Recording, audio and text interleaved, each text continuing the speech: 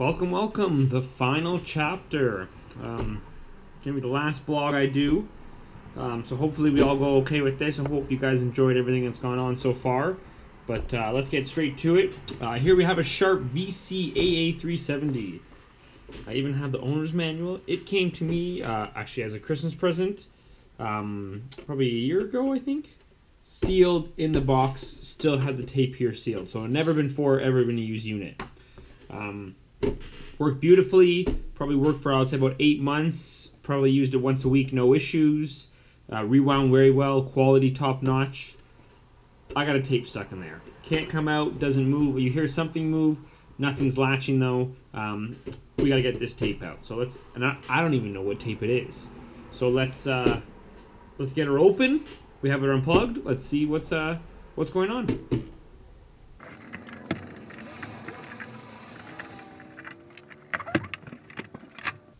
All right, right away we see an issue. First off, League of Extraordinary Gentlemen, that's the tape. And we can actually see here, the tape is actually, excuse me, broken. It's actually broken from the cassette itself, straight above.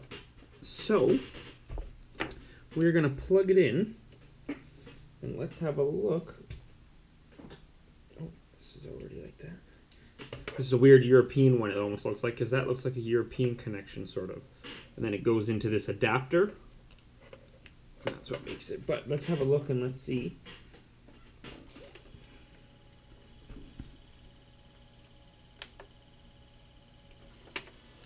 Okay, it tried to pull tape there. It has tape on one side, but that's it. Now if I go, so we can see right here, we have tape loop through here. I think this tape's got crinkled, so it may be done. And then the tape's not being grabbed here where it should be, and that's nice and loose. So if I go in manually myself, put it in. Okay, so now if I go eject, brings the tape back.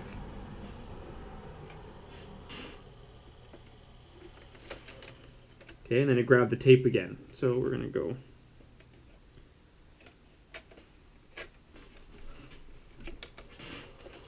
comes in.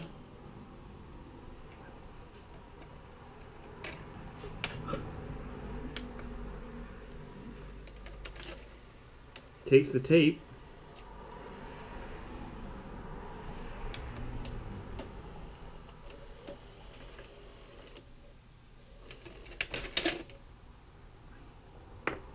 Okay, so one of these things wasn't allowing it to rise up because of that thing.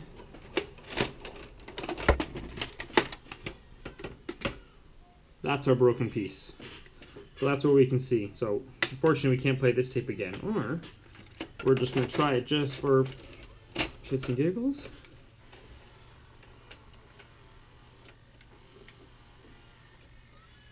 And we are playing. That is awesome, guys. That is absolutely awesome. That's really cool. So again, it's playing right now. So we're going to recap what we've learned pretty much throughout the whole uh, ordeal we have here. Here, big spinning head. It is the video head. Now I cannot see how many heads it does have because A, the tape is there, B, this thing's spinning at light speed here. Very fast. We can see here, uh, and you can't see on this side, the tape is spooling. Um, so we're having no issues there. This here is more than likely going to be the audio head. And then this one here is the erase head. So this would erase the tape as the tape goes by. You can see the crinkles just going by the tape now, actually. There's the crinkles right here. It's very difficult, but that's where we had it crinkled from before. Um, so damaged inside. So I bet you that part of the movie itself would have been uh, just bad quality or who knows. Maybe we'll watch it tonight and we'll see because it is a good movie. Um, so yes, this would be the erase head, and then you have the two pickups and stuff. So what we're going to do is we are going to stop it. Uh, stop is stop. Okay, so this should be, so this is fast forward.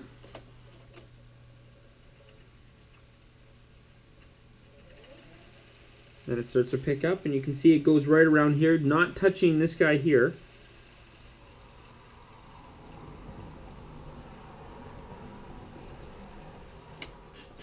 It stopped on its own. That's because I think that's max. There we go.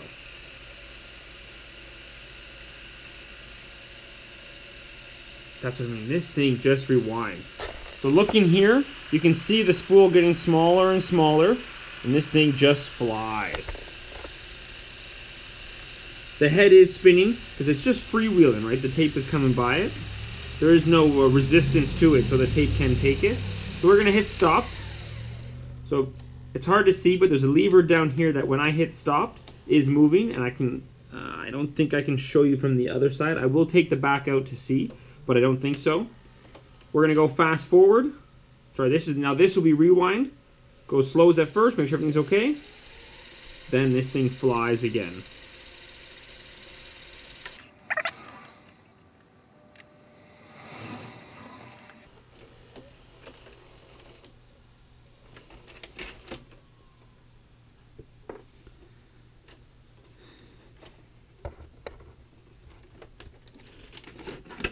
So, this is my new test tape. But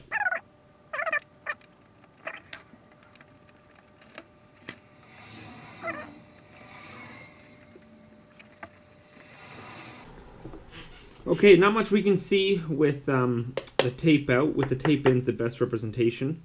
Um, but uh, inside, underneath here, you have your gears and your forward and backwards, and you can shift it. Your forward, your reverse. Underneath this case is where all the gears and stuff work.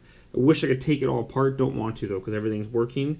Uh, here you have a little wee motor. That's for your drive mechanism. I'm um, sorry, this here motor here is for the head. The head does have its own motor. This is a one, two, it should be a one, two head unit. Um, so again, we're looking at the two little slits. I'm not going to do much cleaning because this thing worked. I don't know why it broke it. So next time if it breaks another one, could have been that this thing just had a wrong latch and when it came in, snapped it off. But that's okay. Um, we're going to try one more time just to show you guys so you guys can see.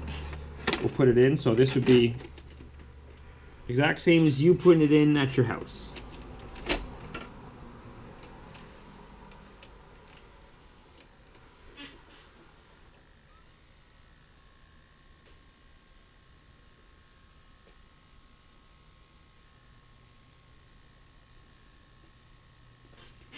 Okay, this would be us ejecting again. So again, this motor does the, all the eject and stuff. So when I press heat go in here, this thing keeps rolling this guy all the way until this thing applies and goes. So this motor does all that. Brings it to a certain point essentially with all these gears that it allows the tape to come up and then it allows it to go around it like this and then it applies the force onto these two rollers here. So then it goes over the sound card and then comes out.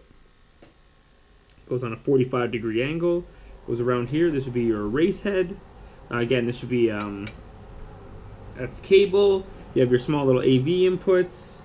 Um, not much else to it, really. Again, this will have the infrared sensors, which I'm going to just have a quick peek for. But other than that, everything's pretty self-explanatory. We're going to go eject. So it stops it. This roll is going to come up because the motor is pulling it back. Then the motor keeps going a little more, and that, that's what ejects it. This right here would be your infrared.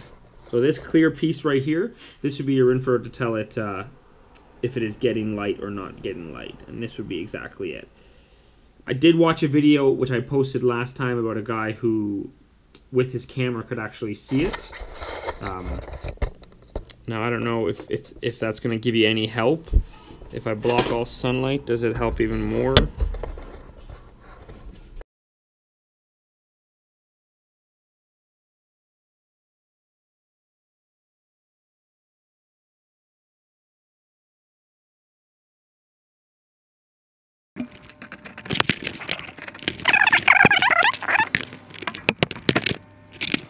Okay, so we're going to put it all back together. We're going to try it out and we'll see if Top Gun works. I'm not going to do any cleaning today um, because it is working fine and I know the unit is pretty new, so I'm not going to deal with it. The grease looks great. There's no dust inside. I don't see any kind of corrosion. Um, so I don't want to mess with anything that... Uh, let's see, when that guy pulls, it actually pulls a loop onto here, which allows that guy to spin. Really neat unit. Really cool unit, guys. Okay, let me uh, put this back together.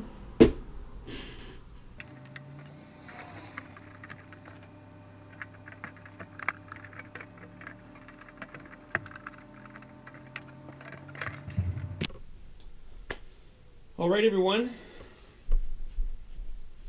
Here we are testing out. So this is the, the Sharp we just had. Um, quick thing I wanted to talk about. I have an AV splitter here. So this one is mono. It only comes with one white. So you, you have your white and your red for your left and your right speakers. Unfortunately, this one actually only when it outputs, it only outputs it to one.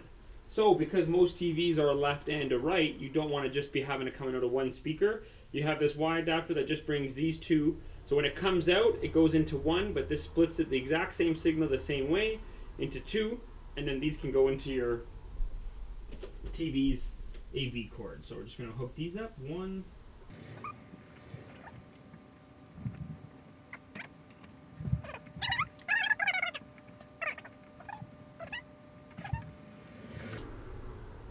Okay, there you go. There's my black screen. There's my one.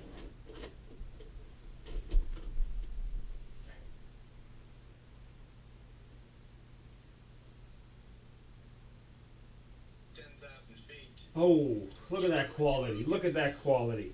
You followed Commander Heatherly below after he lost sight of you and called no joy. So we're going to do a quick fast forward, see if we can't get a good scene. Here we go, Maverick's getting reprimanded.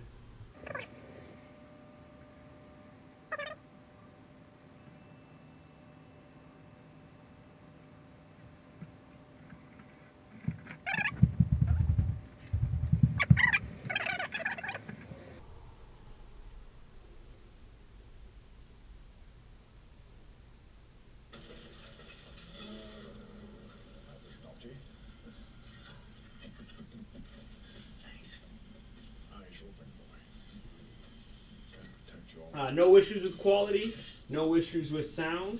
Um, yeah, that's great news. This is definitely going to be hooked up here tonight.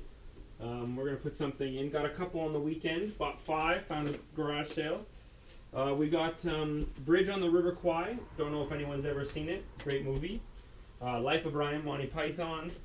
Um, Blue Hawaii, an Elvis flick, but sealed, still in wrapping. Dirty Dancing still in wrapping, which to me is a, is a big win.